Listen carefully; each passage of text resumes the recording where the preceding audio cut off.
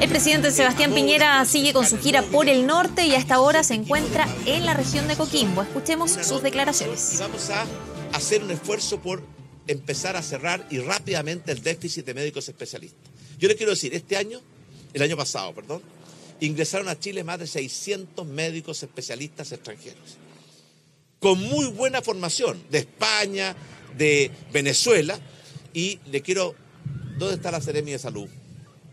Ahí está de Salud. Le quiero decir, cierto, que no se quede dormido porque estamos en pleno proceso de asignar esos médicos especialistas que tienen que ir a regiones, en la condición que Chile les puso, para que llegue la justa cuota a esta región. Así que, oiga, converse con la doctora Daza, con el doctor Castillo o con el doctor Santelices. Pero lo más importante es que yo creo la revolución en salud en Chile va a ser algo en que nos han apoyado los mejores innovadores del mundo. Yo tuve la oportunidad de ir hace unos meses atrás a un pueblo que se llama Sun Valley, en un estado que se llama Idaho, que es conocido porque es el estado de las papas. En el norte de Estados Unidos a reunirme con Jeff Bezos, el fundador de Amazon, y que era el hombre más rico del mundo hasta hace una semana atrás.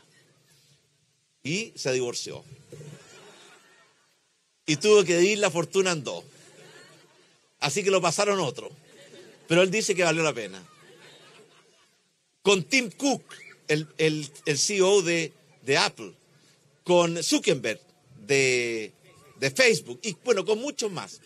Y vimos cómo la revolución tecnológica nos puede ayudar ahora a cambiar para mejor la vida de las personas. Por eso pusimos en marcha inmediatamente el hospital digital. ¿Qué es lo que es el hospital digital?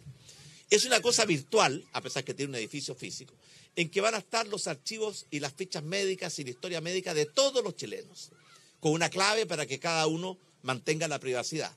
Y acá van a estar todo el conocimiento médico acumulado en el mundo, terapias, diagnósticos. Y una inteligencia artificial va a conectar las dos cosas y va a permitir que los diagnósticos y las terapias se hagan en base a la mejor información y al mejor conocimiento. Y va a poder interactuar entonces este hospital digital con el médico tratante en forma directa y vamos a tener acceso a los mejores especialistas del mundo a través de la tecnología virtual. Eso va a ser mucho más rápido, diagnósticos mucho más certeros, terapias mucho más adecuadas y costos mucho más bajos. Eso va a ser una tremenda revolución, está en plena marcha y vamos a ponerlo en marcha este año. Hemos estado en plan piloto en varias regiones. Pero además de la salud, que es muy importante, también tenemos que preocuparnos del crecimiento económico. Y ahí tenemos ¿cierto? un verdadero y poderoso paquete de medidas para que la economía se ponga definitivamente en marcha después de haber estado retrocediendo durante tanto tiempo. Y en esto consiste ¿cierto? en más de 68 proyectos de inversión, programas para la promoción y la innovación empresarial, una inversión en recursos que yo le decía que va a ser probablemente la inversión más grande que haya tenido esta región en cuatro años en su historia, pero también mucha infraestructura, que es básica. Mejor conectividad terrestre, aérea y portuaria. Vamos a hacer la segunda concesión de la ruta que une los Vilos con La Serena y la conurbación, que son 245 kilómetros, la ampliación y mejoramiento del aeródromo de la Florida, en La Serena, que va con la nueva tecnología a permitir funcionar 24 horas al día, la ampliación del puerto de Coquimbo, que está íntimamente ligado con el futuro túnel de Aguas Negras, para lo cual les quiero decir, les quiero decir, hay una tremenda demanda y necesidad de establecer un corredor binacional entre Argentina y Chile por el paso de Aguas Negras.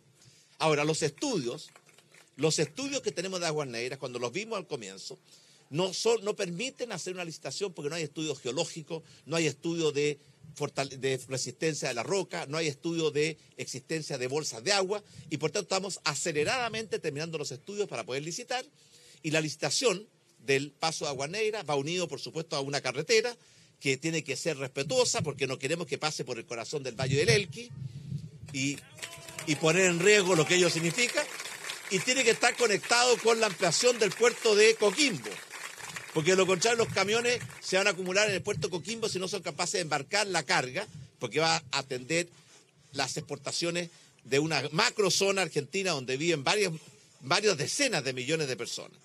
Pero además de la ampliación del puerto Coquimbo, que está dentro de este plan, en el plan de infraestructura está contemplado más conectividad digital. Ustedes saben que la ruta digital o la carretera digital, que es una fibra óptica de banda ancha, ya está ya está ya llegando desde Arica hasta Puerto Montt y en este instante se está poniendo el cable submarino que va a extender la, el, el cable el, el, cable desde Puerto Montt El ministro, el presidente Sebastián Piñera ahí de gira en el norte, en la región de Coquimbo, dando cuenta de los avances que se esperan para la región durante este año en materia de salud, también en materia económica, un popoco también haciendo un balance de lo que se ha hecho en los últimos meses. Vamos a dejar hasta acá el contacto con Coquimbo, luego retomaremos entonces las actividades.